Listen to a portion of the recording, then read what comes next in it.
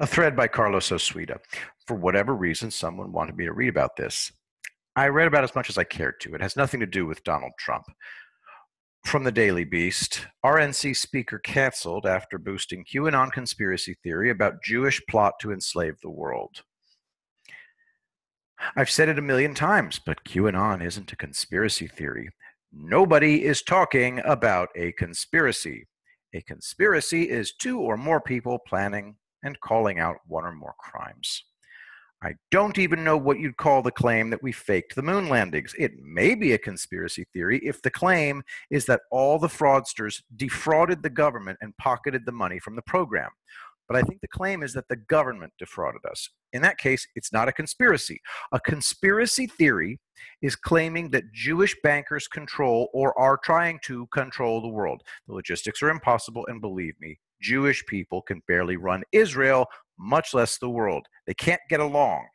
I proved the only known wide scale global conspiracy is the kind conspiracy theorists talk about. It took me years to find the evidence. First, I hired a researcher to go as deep as he could into the National Archives and find documents nobody has looked at for seven decades. He scanned all the originals, so there's no question that they're real. I did the rest using those documents to find photos, newsreels, and old newspaper articles. I made a presentation that I hope to someday present to Joe Rogan if I can publish my memoir. I'm going big or nothing. If I can find a high powered literary agent to get a good old fashioned publisher's bidding war going, then I'll do it.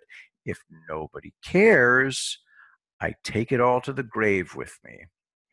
Everybody involved is dead anyway. Here's the thing about real conspiracies the more widespread they are, the smaller the number of conspirators. The conspiracy I proved was the work of one man. He was the evil version of Trump. Like Trump, he hid all his capabilities. Initially, I was blown away, but the more skills I uncovered, the more mundane it became. In the sense that I'd accepted that this man was motivated entirely by the challenge. He had no need for fame, glory, or power the world was his private university, laboratory, testing ground, battlefield, and theme park. He was dedicated solely to seeing what he could do. I can't say he had a cover because his legitimate job was real. He revolutionized his industry. He changed everything from top to bottom, technically and organizationally. And he did it anonymously, letting others take the credit. That's why Every corporation in his industry fought for him. He cared nothing whatsoever about recognition. Therefore, he left almost no trace. And he was probably the most significant figure in his field. In his other life, he worked entirely alone, mercilessly using others and disposing of them when they'd done their jobs. He fooled all governments on the face of the earth. I read FBI and CIA reports, and I laugh at what children they were in comparison. Jesse Ventura is a buffoon. Alex Jones, Oliver Stone, every single guest on Coast to Coast AM, they're all like the people in Plato's cave. In Plato's allegory, people are chained to the wall of a cave all of their lives, facing a blank wall. The people watch shadows projected on the wall from objects passing in front of a fire behind them and give names to these shadows. The shadows are the prisoner's reality.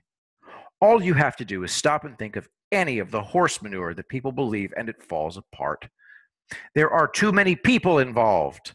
I mean, the FBI tried to take down Trump, and the conspiracy was uncovered almost immediately. Two of the conspirators we're like horny teenagers. But you want me to believe that the Rothschilds have this global army of perfectly disciplined adults who've been working for centuries on this project? Everybody claims to know every single detail about it. Serial killers taunt the cops by leaving clues. That's how they're caught. You tell me that the Rothschilds leave 80 million clues a day picked right up by internet detectives? that anti Trump I talked about earlier taunted nobody. He had no need to. Why would he taunt his inferiors? It was beneath him. He actually never made a mistake. Technology overtook him. Since he pulled off his greatest feats 70 to 40 years ago, he had no way of anticipating that someday we'd have a thing called the internet. Old newspapers would be put online. I could contact people living in other countries and get information from them. The National Archives changed its rules and made old military records available to the general public. All I needed were two. Old high school yearbooks were put online. Social media has sunk a lot of people. Old high school yearbooks have told me who they are. They give me a face. Then I can find that face. All, all the conspiracy theories that you've heard are bollocks, as the British say. Joe Rogan is the only person I trust to whom I can give the presentation. We can't show the audience, of course, but he can see it and react on the air.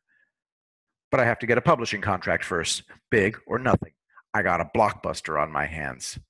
I go back and read the manuscript and look at the presentation, and I marvel at what I accomplished. Joe had on a guy named Joey Diaz, whom I don't know anything about. He said some stories have to be told, regardless of the risk to the teller. I've removed all identifiers from my book names, dates, places, they don't matter because the book is about the search. And the story involves so many people who have no idea about any of this. I can't name names because those people would be harassed without mercy. I have insurance, if anything happens to me, I wish the malefactors well. After you read the book, you won't want to dig into this. People whine about being punished for saying Jewish people are trying to control the world. After you read what I uncovered, you won't get near any of it. Not if you have any sense of self preservation. Besides, I've hidden the tracks too well. I'm sure people will identify me, but so what? It ain't me you need to worry about, kids. The world isn't what you think it is. Conspiracy theories are parlor games. People indulge in them because they know that there will be no consequences if they talk about them publicly. As I said, I have insurance, and luckily, I made some very good friends. My goal is to tell a story and leave it at that. No career, no endless speaking tours. I just want to be left alone. But as Joey Diaz said, some stories must be told. My story has no bearing on today. The only relevance to today is that it'll show you that you're wasting your time worrying about the Rothschilds. I was able to uncover the doings of one man, as careful as he was, and I can prove it. None of the classic popular culture conspiracy theories can be proven, not even one of them. Addendum this is the thread that Marianne Mendoza retweeted. The only reason I used the Daily Beast is that it was the first article that actually gave me the details of this non event. I've never read the publication. Thank you for listening.